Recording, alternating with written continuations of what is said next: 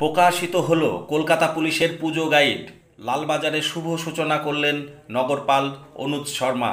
পুজোর গাইডের পাশাপাশি এদিন কলকাতা ট্রাফিক পুলিশের বার্ষিক পর্যালোচনা রিপোর্টও প্রকাশ করেন তিনি। পুজোর ভিড়ে বিশেষ করে বাচ্চাদের হারিয়ে যাওয়ার ঘটনা ঘটে, সেটা মাথায় রেখে এবার ছাত্রছাত্রীদেরকে সঙ্গে নিয়ে তৈরি করা হয়েছে আইডেন্টিটি ব্যাচ, যার মাধ্যমে হারিয়ে যাওয়া বাচ্চা বা যে কোনো মানুষের পরিচয় দিয়ে তাদের অভিভাবকদের কাছে পৌঁছে দেওয়ার চেষ্টা করবে কলকাতা পুলিশ। আপনারা দেখছেন খবরের দর্পণ ইউটিউব চ্যানেল।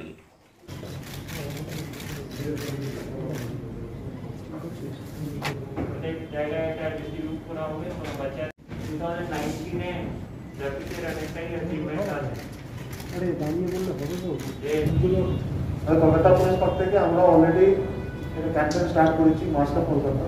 মানুষকে আমরা বোঝানোর চেষ্টা করছি কি আপনার এমনি নর্মাল করে পুজো তো হয়তো একটা ফাংশন হয়েছে পুজো এখন আসছে সামনে। কি মাস্ক ছাড়া পরে ছাড়া আপনি বেরোবেন সেকেন্ড ফিজিক্যাল ডিস্টেন্সিং মেনটেন করবেন এই দুটো জিনিস বলা হচ্ছে বারে বারে, এই ক্যাম্পেন আমরা স্টার্ট করেছি।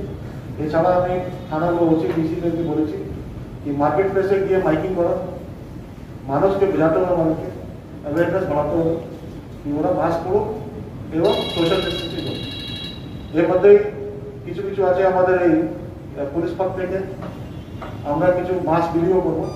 স্পেশালি পূজা পণ্ডালে যেখানে যেখানে মানুষ যাচ্ছে মাস্ক না থাকলে মাস্ক দেবো না মুখটা ঢেকে রাখতে দেবো। এটাই এটা নিয়ে আমরা এগোবো এখানে বলেছি দায়িত্ব আমাদের কলকাতা পুলিশে আছে। দায়িত্ব আছে পুজো কমিটির, দায়িত্ব আছে মিডিয়ার, দায়িত্ব আছে মানুষের। দিস ইজ দায়িত্ব কি মাস্ক পড়বে, সব ফিজিক্যাল ডিস্টেন্স করতে এটা সব সকাল উপরে আছে। Hopefully everybody will try to follow the guidelines যদি এখনও আমাদের খবরের দর্পণ চ্যানেলটি সাবস্ক্রাইব না করে থাকেন, তাহলে এখনই সাবস্ক্রাইব করুন। সঙ্গে বেল বাটনটি ক্লিক করুন।